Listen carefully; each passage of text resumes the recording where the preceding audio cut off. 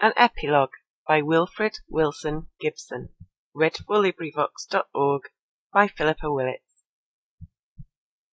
GHOSTS of my fathers, while you keep On ghostly hills your ghostly sleep, If for a moment you should turn The pages of this book, to learn What trade your offspring's taken to, Forgive me that my flocks and herds Are only barren bleating words. Wilfrid is in The Epilogue